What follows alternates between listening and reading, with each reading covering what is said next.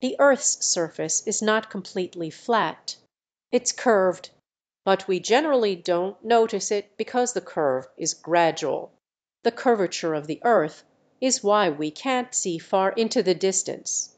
However, sometimes we can see farther than usual, depending on the weather and other conditions.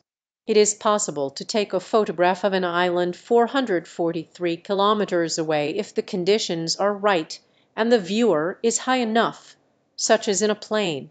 The size of the earth doesn't matter for this; the curvature exists regardless of the size.